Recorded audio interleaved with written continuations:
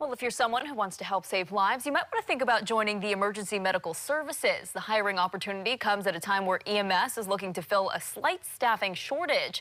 Christy Tomashiro has details and a story that's new at 10.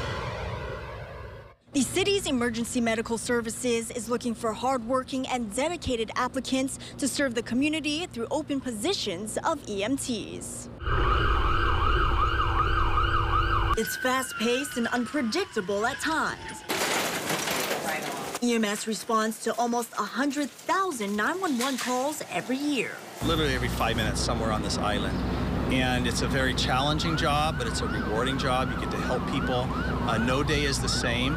Now, EMS is looking to hire 24 new EMTs. There is a slight shortage, and, and we do have um, growth in our department, so we do need to hire more people. Um, people retire, some people leave EMS for other professions, uh, sometimes other medical professions. For the first time in 10 years, EMS is offering an EMT academy at Kapiolani Community College. Uh, there'll be a testing and interview process, and if they're hired, they will come into our EM EMT academy in August. And this is similar to a fire academy or a police academy, but this is a little different because instead of going to school and then getting a job, you actually get your job first and get paid um, while you're going to school. The recruitment window opens Tuesday and closes Thursday at 11:59 p.m. Hawaii time.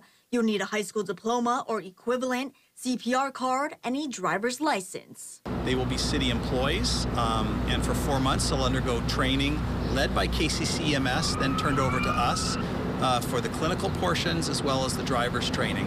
On top of the pre-qualifications, you'll also need a passion to serve the community. Compassion is important because you have to um, care for the people you're taking care of, and the ability to, to handle stress because um, you can have a dull day, but often it can be punctuated by um, very, very emotional type calls, life and death situations.